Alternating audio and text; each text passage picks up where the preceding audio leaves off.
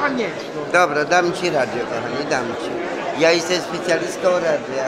Dam ci radio. Ale nie to radio, bo ostatnio mówiłeś, że Tak. z branży, Tak, tak.